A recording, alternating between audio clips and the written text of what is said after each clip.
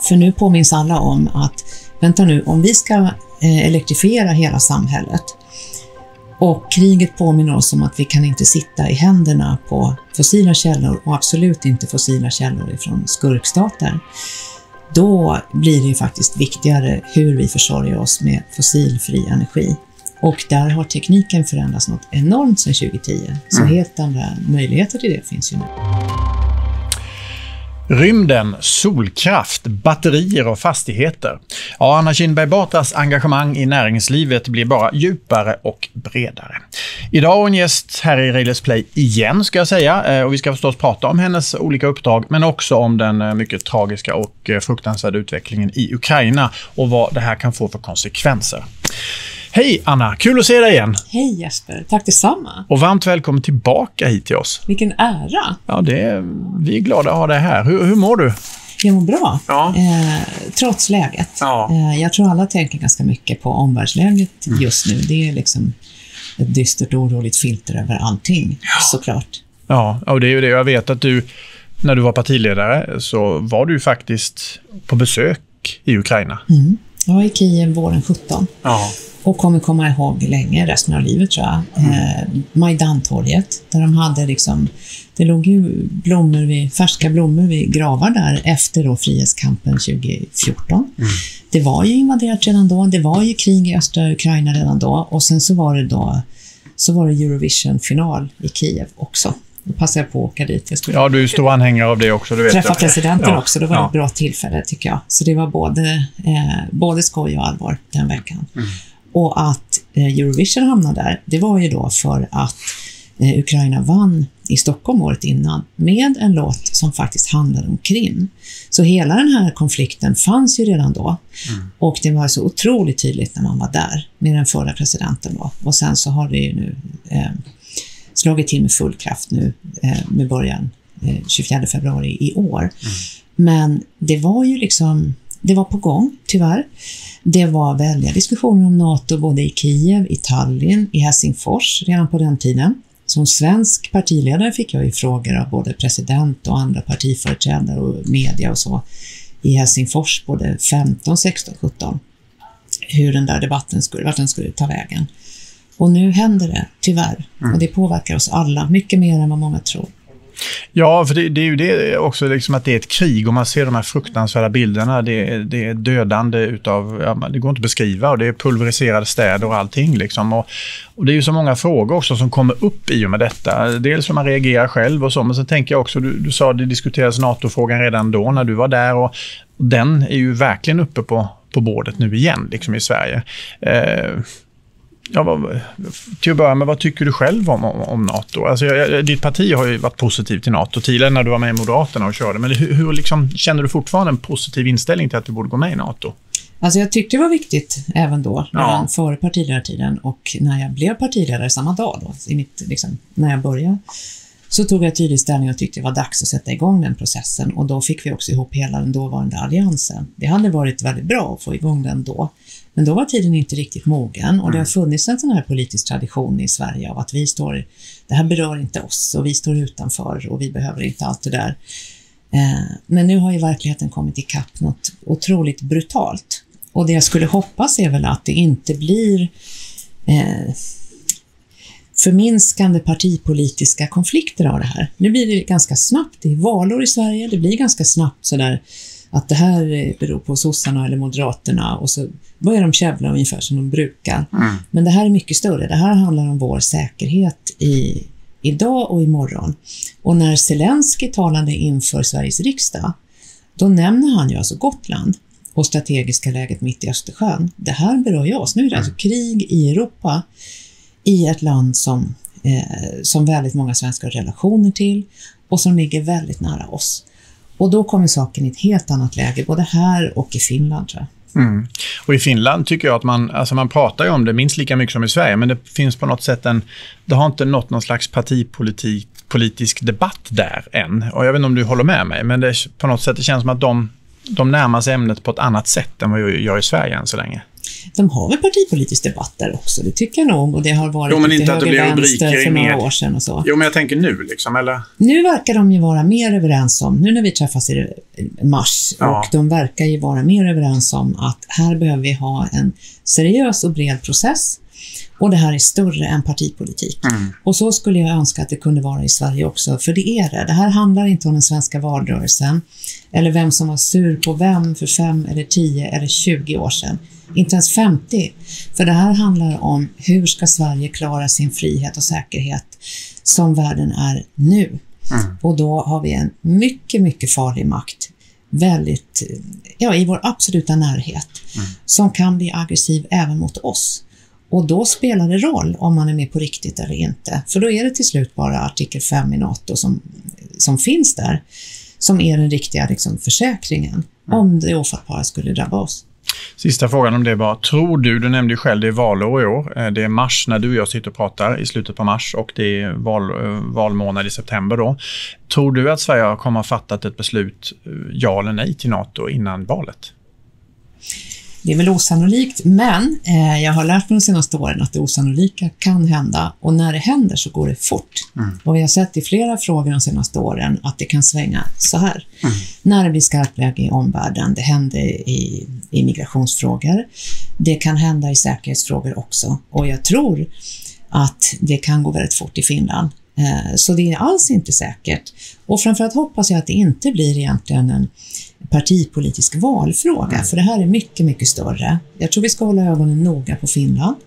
Och det kan ju röra sig redan under våren. Det är ett stort NATO-toppmöte i slutet på våren.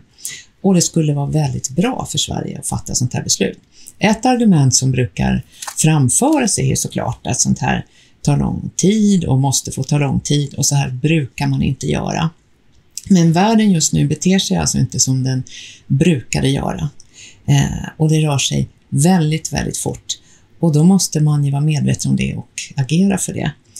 Eh, så vi får se. Det skulle vara bra att inte avgöra den här frågan mitt i valrörelsen i alla Ja, fall. men jag tänker det. Ja.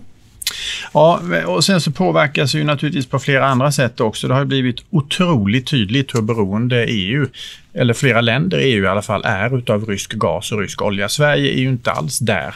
Tack och lov kan man väl säga då. Men, men, men Tyskland och Italien och en del andra länder är ju verkligen det. Eh, och man måste nästan panikartat då svänga om på något sätt. Hur tänker du kring detta? Ni hade ju Lina Bartling Kärnberg här Mm. för inte så länge sedan och jag träffade henne själv bara nu häromdagen. Eh, hon är en av flera forskare som påpekar hur den här debatten faktiskt har svängt och hur tekniken också har förändrats. När vi höll på med kärnkraften i riksdagen eh, våren 2010, när beslutet fattades som faktiskt möjliggjorde nybyggnation, då var ju det superkontroversiellt och mellan partierna och sådär. Det beslutet fattades ju då ändå. Eh, men det har rört sig något enormt. För nu påminns alla om att, vänta nu, om vi ska eh, elektrifiera hela samhället och kriget påminner oss om att vi kan inte sitta i händerna på fossila källor och absolut inte fossila källor ifrån skurkstater. Då blir det ju faktiskt viktigare hur vi försörjer oss med fossilfri energi. Och där har tekniken förändrats något enormt sedan 2010. Så helt andra möjligheter till det finns ju nu. Mm. Och då skulle, om jag tolkar det rätt, då, kärnkraften kunna vara en viktig pusselbit i, inom EU då för att lösa den här eh, panikartade frågan. Absolut, och då handlar inte det om... Även där tycker jag politiken kan vara lite gammeldags ibland. Den, där handlar energidebatten... Då stannar den ibland vid att alla grälar om Ringhals 1. Men den är ju inte svaret på framtidens energifrågor, vad man än tyckte om den, så att Nej. säga.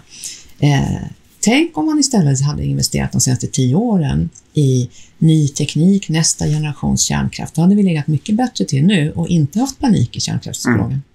Och sen kan man ju notera också att EU faktiskt har grönklassat kärnkraft. Eh, och, och i Frankrike vill bygga flera nya kärnkraftverk och i Sverige verkar opinionen, som du var inne på, också ha svängt. Ja, absolut. Det, Och då är det ju, jag tycker vi, alltså, vi går ju mot minst dubbelt så stort elbehov. Och då måste vi ju faktiskt ta det någonstans ifrån. Mm. Och då får man ju bestämma sig om man ska bli mer oljeberoende eller mer beroende av rysk gas. Och vill man inte det, då är det de fossilfria källor som finns. Och då finns det förnybart och det är bra. Och det finns kärnkraft och då behöver vi allt fossilfritt som vi kan få. Mm.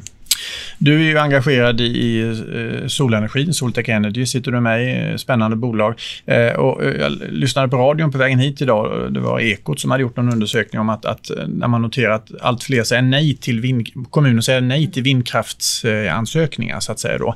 Det har ju inte med solenergi att göra såklart då, men det är ju två väldigt viktiga komponenter också för att bli kvitt fossilfritt så att säga. Alltså, men om vi pratar om, om solkraften då, tror du att det kommer växa ännu snabbare nu? Det kan det göra. Ja. Anna Werner som är VD för Svensk Solenergi var ju här för inte så länge mm. sedan. Och du bad henne gissa på hur snabbt man kunde få 10% av elen från mm. sol. Och då gissade hon väl på fem år, mm. alltså före 2030. Och jag sätter inte emot. Man ser att det ökar enormt nu. Både stora kommersiella fastigheter och hemma i villor och fritidshus. Nu har det verkligen kommit igång. Och det tycker jag är jätteviktigt. När jag träffade Lina Bertning Tjärnberg så pratade vi också ganska snabbt om byggnader. För de går ju ännu snabbare att eh, förändra. Även små reaktorer tar ju flera, flera år från idé till att de står framme. Det kan vara 5-10 år. Eh, men lägga om taket kanske man gör nu i sommar mm. på sin villa eller sitt fritidshus och då kan man ju bestämma sig för om man ska bli om man ska skaffa egen energi eller inte. Och I de stora fastigheterna kan det ju få enorm effekt om man mm. använder fasaden och taket och sånt och det har ju bara börjat. Mm. Man brukar väl säga att är det 40 procent brukar man väl säga av världens utsläpp som kommer från byggnader. Mm. Och det skulle man kunna minska något enormt om man använder bara den teknik som finns och det har ju svenska fastighetsägare knappt börjat göra. Och då ligger Castellum ändå i framkant, kanske jag ska på. Tänkte jag skulle påpeka det. Det är också en, en utveckling sedan du var här senast då för ett och ett halvt år ungefär. Du sitter du med i fastighetsjätten då Castellums styrelse också och, så, och, och kombinerar det då med Soltech Energy, solenergi. Och det, där ser man ju också en otrolig utveckling, det här med att kommersiella fastigheter då ska bli självförsörjande mer eller mindre på energi. Eh, förslagsvis då kanske mycket med solenergi, att man ska kunna lagra energi och sådär också. Hur, hur, ser du på den utvecklingen? Det har knappt börjat. Mm. Det kommer absolut. Och det var så jag hamnade i Castellum lite inte. Det var väl, fanns väl flera skäl, det får man fråga valberedningen mm. till slut. Eh, men en kontakt jag hade haft med bolaget var ju just som på, från leverantörshåll egentligen, för Castellum hade då installerat det som då var Nordens största soltakanläggning. Det rekordet är redan slaget, tycker jag är bra. Sådana där rekord slås hela tiden nu. Och en sak de märkte då var att de kunde inte använda all energi de kunde eh, producera lokalt. Det här var då på ett lager på Hisingen i Göteborg. Och så stod det en lika stor logistiklada bredvid, där det inte var någon idé att bygga sol alls. För om man skulle dra en kabel från det ena huset till det andra, då skulle det krävas eh, nätkoncession. Mm. Det där är ändrat nu. Eh, det är också ändrat lite grann i regeln som satt ett maxtak på hur stort man får bygga innan man måste betala extra i skatt. Och det här med straffskatt på större investeringar är ju rätt bakvänt när mm. vi behöver fler och fler och när de privata pengarna börjar komma. Det där har förflyttats lite, men Sverige kan fortfarande riva hinder och fortfarande eh, det är fortfarande krångligt och dyrt att investera stort i sol. Och det beror nog på att det, det var inte så vanligt förr. Mm. Men lagstiftningen måste hänga med och det tycker jag märkte från nya energiministern att det vill han försöka eh, göra någonting åt, tror mm. jag. Om man tittar mer på, på liksom ditt engagemang då, som har blivit både bredare och djupare, som jag sa innan, i näringslivet. Då. Vi har Soltech Energy, vi har då Castellum som du berättade om. Sen har vi Polarium som också har varit här, Stefan Jansson, eh, som har revolutionerat kan man väl säga telekomindustrin då med, med batteripack istället för torstiga dieselgeneratorer då till antenner och så vidare. Och det tror jag kommer, förlåt, men det tror jag kommer spela roll även i stora fastigheter, mm. precis som du var inne på. För det är ju det är ju så att å ena sidan så Mindre än två timmar av solens strålning mot jorden skulle räcka för hela vårt energibehov. Å andra sidan är det också så att solen skiner inte när det är mörkt. Per definition. Ja, så är det ju. Så är det ju här i livet. Eh, och det är mer sol vissa årstider än andra och sådär. Och de väderberoende energislagen, de behöver ju då balanseras för att den här energin ska räcka. Och ju mer man kan spara det som kommer liksom på toppen, desto längre räcker den energi man kan fånga in. Och det borde ju vara en no-brainer att fånga all, eh, all avgiftsfri och förnybar energi som finns där ute. Ju mer av den man kan fånga och spara, mm. desto bättre kan man använda den över tid. Så Polarium började ju med lagring i mobiltelefonmaster och gör det fortfarande i hela världen. Eh, och ett nästa steg är ju att i stora fastigheter då ha sådana här ordentliga lagringsmöjligheter så att man kan spara den energi man genererar i sitt skal. Mm. Och om du använder hela skalet där ute, optimerar energin och håller ordning på eh, luft och temperatur och sånt där och sparar resurser inne i huset, i drift och lagrar energin dessutom. Då börjar det bli ett intressant paket mm. på den stora helheten. Och förr kanske sånt sågs som en sån här lite nice extra kostnad. Nu handlar det om reda pengar i besparingar mm. också för, för den som äger och driver huset såklart. Men ska man se alltså, de vägar du, du söker dig till så att säga, i, och kopplar ihop, så att säga, är det, det känns ju onekligen som att det är en väldigt hållbar profil på, på dina eh, engagemang i olika bolag. Att du liksom försöker nästan sy ihop dem så att de passar, eller att det är ett pussel, ett logiskt pussel på något sätt. Är det någon slags hållbarhetslinje vi ser från, från din sida i näringslivet? Jag tänkte inte så mycket så, men det har blivit så. Mm. Eh, och jag tror att det beror på att det är liksom det jag går igång på är ju när så här, teknik och entreprenörskap kan påverka på samhällsnivå så att det också blir till det bättre. Mm. När det gör skillnad. Och då, då hamnar man i det hållbara, för här går det att göra så otroligt mycket, som inte minst Railers vet själva såklart. Det är det ni gör hela dagarna mm. här då också. Eh, och där tycker jag det är intressant att jobba med just entreprenörer, Även Karl-Erik Lagerkrans har ju varit här som är ordförande för Polarium. För, för dem är ju ingenting omöjligt. De ser ju bara möjligheter överallt. Eh, och det blir ju väldigt, väldigt roligt. Och då är det ofta de nu som driver samhällsutveckling och så får politiken försöka springa efter och mm. riva hinder. Och då förstår jag hur politiken fungerar och bara, hmm, det är kanske den här lagen som sitter i vägen eller den här EU-processen som påverkar mm. det här. Eller den här kommunala frågan som avgör. Tänk om man kunde planera den här stadsdelen klimatsmart från början. Hörni, kommunstyrelsen. Det där hänger ihop liksom. Är politiken på alla nivåer och privata entreprenörer som vill göra skillnad. Det är mm. jättekul att jobba med dem. Du, sen måste jag också passa på att gratulera dig till ännu ett väldigt fint uppdrag. Du har blivit eh, nominerad av regeringen då till ett eh, ordförande i Swedish Space Corporation. Är du en rymdnörd eller? Inte särskilt. Nej. Eh, så när jag kom in i den styrelsen för fyra år sedan, då var jag lite så här, vad är det här? Mm. Rymd? Och jag är inte teknikmänniska egentligen själv. så. Eh, och då var det flera som, jag testade på några och Carl Bildt till exempel sa att nej, det där måste du tacka ja till. Aha. Här kommer det hända jättemycket i hela världen under de närmaste åren. Mm. Och det här var 2018 och det hade han ju alldeles, alldeles rätt i. För här är det ju eh, det är ju faktiskt raketforskning och den kan jag inte. Eh, men det här är ju också storpolitik, entreprenörskap, företagande och där Sverige har ett guldläge faktiskt att vara riktigt bra även internationellt. Vi kan alltså bli först i EU med eh, småsatellituppskjutningskapacitet, om man blir lite teknisk. Mm. Alltså, det som händer med satelliter och stora datamängder, det kan alltså hända med Norrbotten som bas för internationella sammanhang. Och det är ju jättebra. Och vad är det som gör då att du ser att just Sverige har det guldläget? Flera saker mm. egentligen. Eh, vi har massa glesbygd nära Nordpolen uppe i Norrbotten och förr om åren fick man alltid höra att det var då pratade man om stödprogram och problem och så med det. Men nu händer det ju massor där. Nu görs det ju massa investeringar där uppe. Och där ligger ju S-Range, den svenska rymdbasen, sedan länge, från över 50 år tillbaks.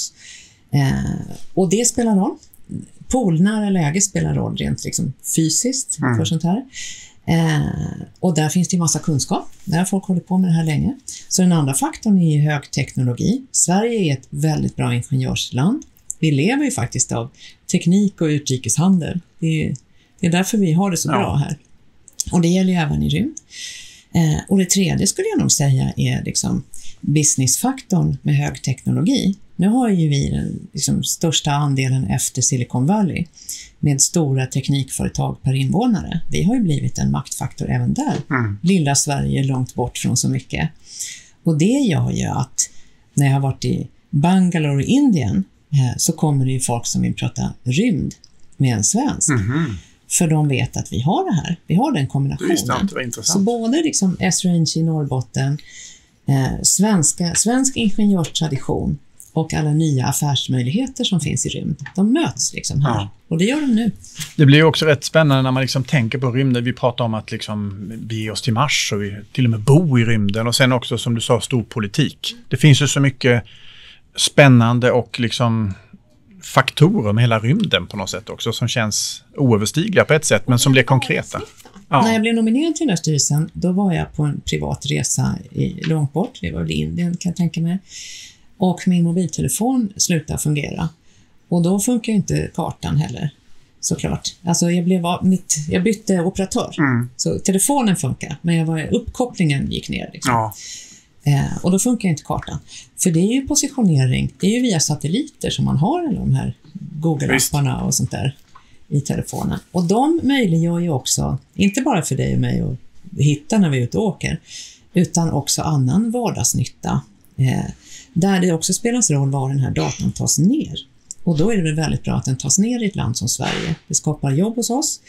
Eh, det tas också ner i ett demokratiskt land.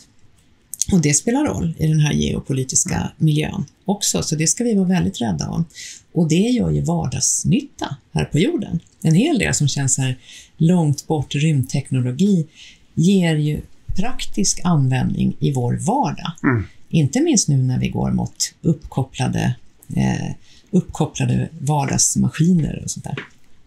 Och klimatfrågan inte minst. Du, vi har ju en, en i alla fall minst en sak gemensam. För det första har vi träffats i våra tidigare liv eh, i en annan soffa, i en annan tid så att säga. Men vi har ju också bytt i ungefär samma ålder, helt inriktning i livet på något sätt. Bytt yrke. Du var politiker och jag satt i Nyhetsmorgon, soffa på TV4 och nu sitter vi här, vilket jag tycker är jätteroligt. Eh, hur, vad har det gjort med dig? För jag kan själv känna att det gav ju mig en kick och kastade mig ut i någonting annat. Hur, hur har du utvecklats efter det, efter det bytet så att säga?